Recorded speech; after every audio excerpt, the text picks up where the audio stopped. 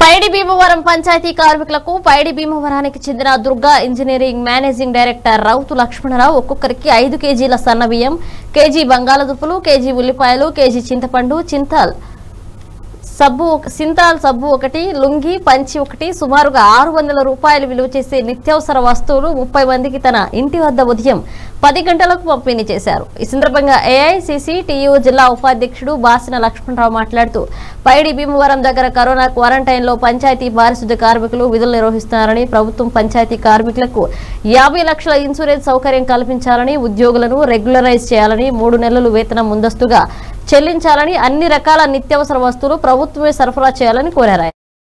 అంటే ఈ చాపరం రణస్థలం మధ్యలో పొలాల్లోంచి లేకపోతే వేరే రూట్లో వచ్చి ఏదన్నా జిల్లాలోకి ఎంటర్ అయ్యే అవకాశం ఉన్న ఇలాంటి వలస కార్మికులు కానీ లేకపోతే అనాథరైజ్ పర్సన్స్ కానీ ఉన్నట్టయితే వాళ్ళని కూడా అదుపులో తీసుకోవడానికి పెట్టడం జరిగింది చెక్ పోస్ట్ ఈ twenty four hours by seven twenty four by seven నడుస్తున్నాయి చెక్ పోస్ట్ వీటిలో కమ్యూనికేషన్ వ్యవస్థ రెవెన్యూ డిపార్ట్మెంట్ నుంచి యంత్రాంగం అదేవిధంగా రోడ్ ట్రాన్స్పోర్ట్ డిపార్ట్మెంట్ వాళ్ళు తర్వాత నిలుపు నిలుపుదల చేయబడిన వ్యక్తుల్ని తీసుకెళ్ళడానికి వాహనం కూడా ఏర్పాటు చేశారు ప్రతి చోట ప్రతి చెక్ పోస్ట్లో సో దీనివల్ల మనకి ఏముందంటే రిలీఫ్ క్యాంప్స్ ఏవైతే చెక్ పోస్ట్ దగ్గరలో ఉన్నాయో వీళ్ళని ఆ నిలుపుదల చేసి రిలీఫ్ క్యాంప్కి ఏర్పాటు పంపించడం జరుగుతుంది.